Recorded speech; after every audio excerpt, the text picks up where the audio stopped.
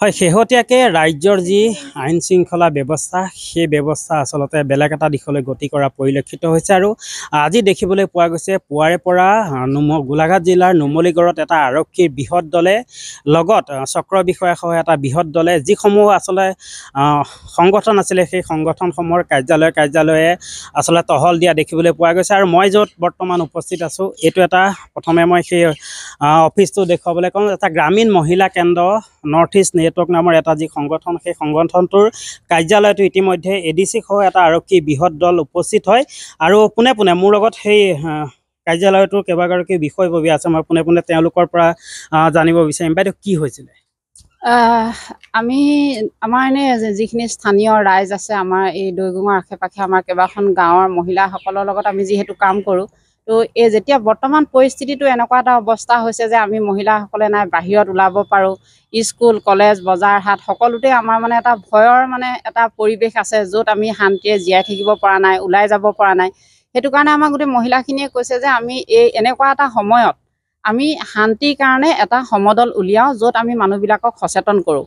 তো তেনেকুৱা কথাটো আমি আলোচনা কৰি থকা অৱস্থাত আমি নাজানো থানাই খবৰ পাইছে পাই তেওঁলোকে আমাৰ কাৰ্যালয়লৈকে আহিছে আহি আমাক কৈছে যে আপোনালোকে আন্দোলন কৰিব নোৱাৰিব এনেকুৱা এনেকুৱা। মানে কিছুমান কথা কৈছে যে জোৰ সমদল কৰিব নোৱাৰিব প্ৰতিবাদী কাৰ্যসূচী কৰিব নোৱাৰিব। যদি আপোনালোকে শান্তি কিবা এটা প্ৰগ্ৰেম কৰে তেতিয়াহ'লে হ'ব। তেতিয়া আমি কৈছোঁ যে হয় আমি সেইটো কৰাৰ কথাই ভাবিছোঁ। তো আপোনালোকক আমি বাৰে বাৰে কৈ থকা স্বত্তেও আপোনালোকে আকৌ মোক ফোন কৰিছে তেওঁ ফোনত যোগাযোগ কৰিছে দুবাৰ তিনিবাৰ। মই তেখেতক বুজাইছোঁ যে নহয় আমি এনেকুৱা হিংসাত্মক কোনো ধৰণৰ প্ৰতিবাদী কাৰ্যসূচী নলওঁ।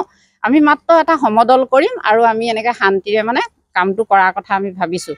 তো তেখেতে সেইটোত পতিয়ন যোৱা নাই ফোনৰ কথাত তো তেওঁ তেতিয়া মই এতিয়া চাইছোঁ যে আহি পেলাই তেওঁ মোৰ কাৰ্যালয়লৈকে অহা নাছিলে ৰাস্তালৈ মাতিছিলে।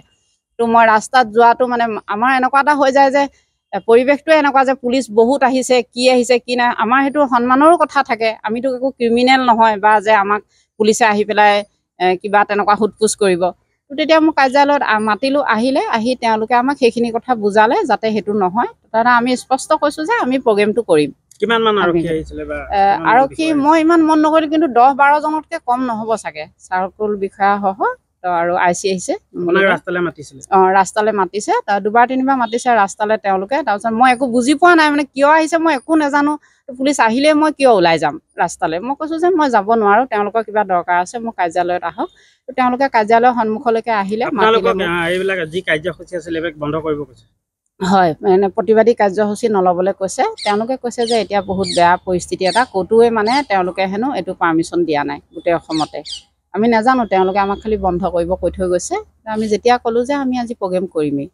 ইমানেই আৰু হয় নিশ্চয়কৈ। শেহতীয়া যি আইন শৃংখলা পৰিস্থিতি সেই পৰিস্থিতিৰ প্ৰতি লক্ষ্য ৰাখি চৰকাৰ প্ৰশাসনে আচলতে সজাগতা ৰেলী উলিয়াইছে। আৰক্ষী প্ৰশাসনেই হওক বা স্থানীয় যি প্ৰশাসনৰ লোক আছে তেওঁলোকে এনেদৰে বিভিন্ন দল সংগঠনৰ কাৰ্যালয়ে কাৰ্যালয়ে গৈ এনেদৰে তেওঁলোকক যিসমূহ কাৰ্যসূচী আছে সেই কাৰ্যসূচীসমূহ বাতিল কৰিবলৈ আহ্বান জনাইছে। আৰু এটা কথা ক'ব লাগিব শেহতীয়াকৈ শিৱসাগৰেই কওক বা নগাঁৱে কওক আচলতে যেনেধৰণৰ পৰিস্থিতি হৈছে এই পৰিস্থিতিৰ প্ৰতি আচলতে সেই পৰিস্থিতি নিয়ন্ত্ৰণ কৰিবলৈ বা সেই এক সুস্থিৰ আচলতে সমাজ ব্যৱস্থা গঢ়ি তুলিবৰ বাবে এনেদৰে দেখা পোৱা গৈছে।